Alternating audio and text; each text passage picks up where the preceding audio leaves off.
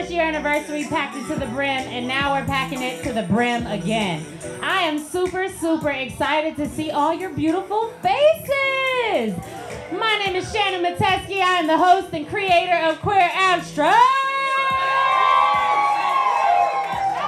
I'm also prom queen for the evening, okay? I'm gonna serve you my best prom dress that I got on Macy's Super Sale. Uh huh, sure did. This is a $189 dress I got for $18.98. Bitch. I've been holding it for a year and I sewed a hole that it had in it this morning, amen. That's what you gotta do for a good dress, God damn it. Okay, I'm excited. So Queer Abstract is a queer trans POC performance art night. We do this show every third Friday. Some people ask, when is Queer Abstract? When is Queer Abstract? Every third Friday. When is Queer Abstract, bitch? I don't know. Google. What? When is the third Friday? Siri. I be asking too, because I bitch don't know. Every third Friday, look at your calendar. We will be here. Okay?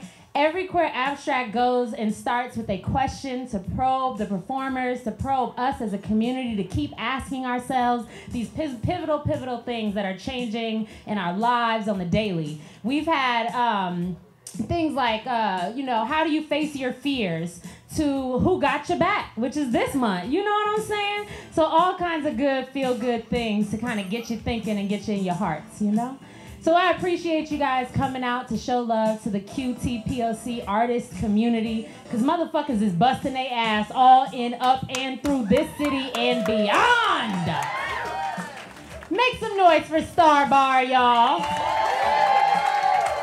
I met Starr Bar when they were only three months old. I walked in and I said, I want to move in now. And they were like, all right, cousin, let's go.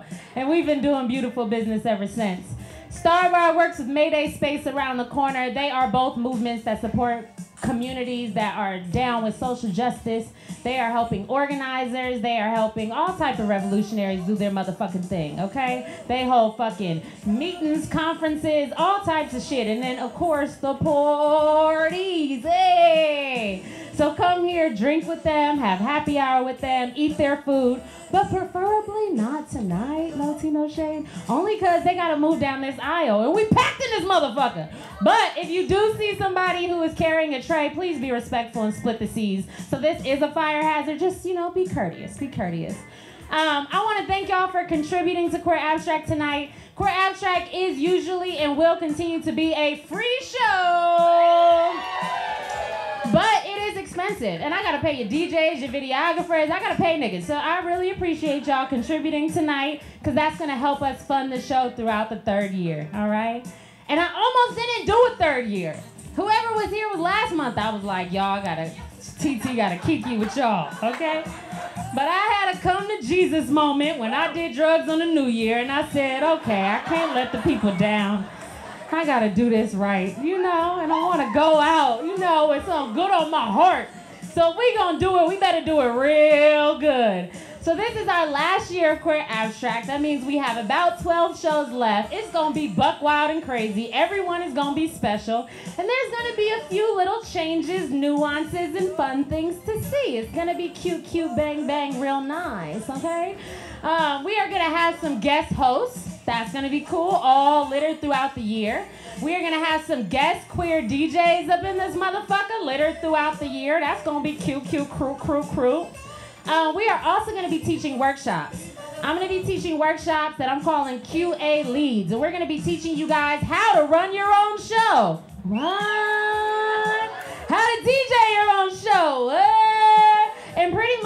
Producer questions you got, because this can't be the last time we do shit like this, and we collect like this, and we fellowship like this. So now it's your turn. Come get some motherfucking leadership, and I'll give you all the fucking clues and insight and everything TT got, okay? Um, I really do want the community to feel charged by this movement, to feel excited by this movement, and get the fuck started on something else. What is the next QT, okay? Because I want to be there at the party without responsibility. Yeah! That would be real motherfucking nice, all right? So the format of a queer abstract, you're gonna have a few artists, then you're gonna have intermission, then you're gonna have a few more artists, and then we break it down, break it down, break it down. I wanna shout out our DJ, Celie and Adi right here. Motherfuckers fine as hell. Y'all actually look like y'all can go to prom. I bet y'all somebody dates this. This y'all, y'all ain't shit. I bet y'all niggas got y'all on reserve. I know. I know. And y'all going to the little, uh, what's the little Fizz, little Bow Wow B2K concert? I know y'all running with the crew. I know they are. They look like B2K fans. Chris over there with Omarion skin, nigga. Get weekly facials and shit. I love making fun of their young, beautiful asses. They're amazing. Um, bathrooms are over here and out there. They're really hard to get to, but just say, excuse me, be nice. Again, be really courteous to people walking through here, and if folks gotta walk through there. Also, a bitch might cut you when it's intermission time because I gotta pee too, okay? So just be courteous and let's be community, all right? Are y'all ready to get into the motherfucking show? Yes. Um, so we have some really dope talent, some new, some old, all fucking exciting.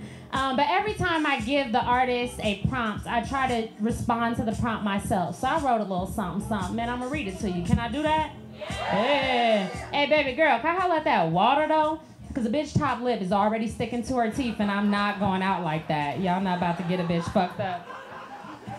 Thank you. That's my prom king, y'all. Ooh. You feel me? Let me just get. Mm. Okay, I'm ready for them kisses, boo. Ooh. Nice shit. That's the best part. All right, so this is what I got. Who got your back? I ain't gonna name no names, but I know you've got my back if you've answered my calls, my texts, not text me too much, too early, let me go back to sleep, not email me too much, long or often, unless it's an emergency, not bothered me unless it's important, or you just checking on my well being, because you know a bitch got too much to do, so little time, needs time to nap, masturbate, get ready, and you know I'm gonna be late.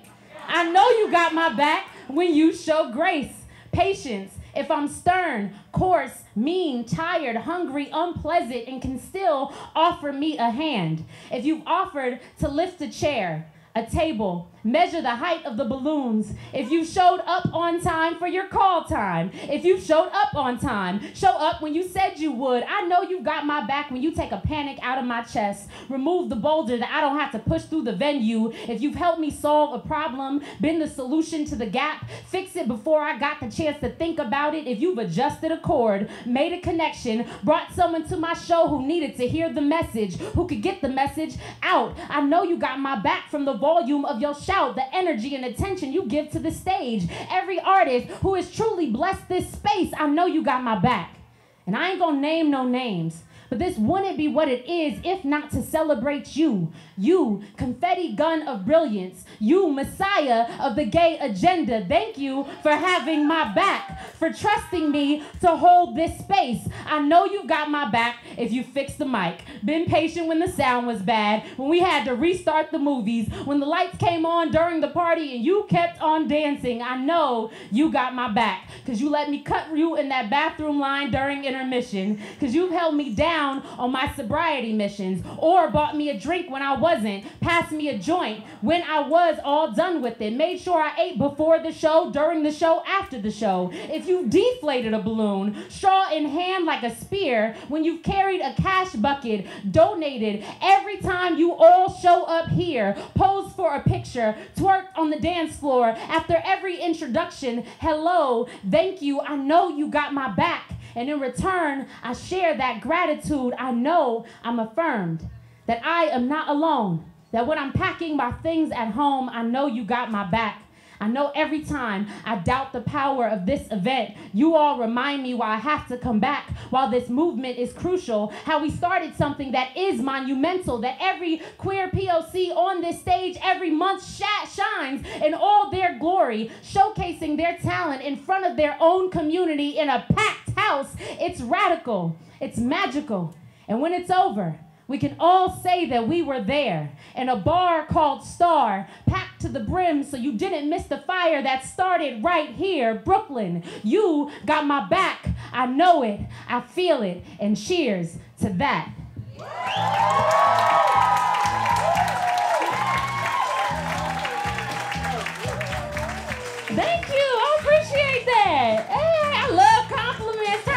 And compliment them. Something that you see. You know what I'm saying?